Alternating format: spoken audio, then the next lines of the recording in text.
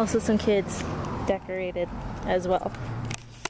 I picked Zach, Shulman, and Akane from school. We hung out for a little bit at my house, made some ice cream, and it was just a very nice treat for the day.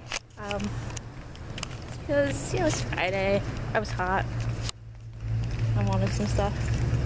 So I thought maybe it would be nice if we went somewhere special, and I'm not gonna do this every week.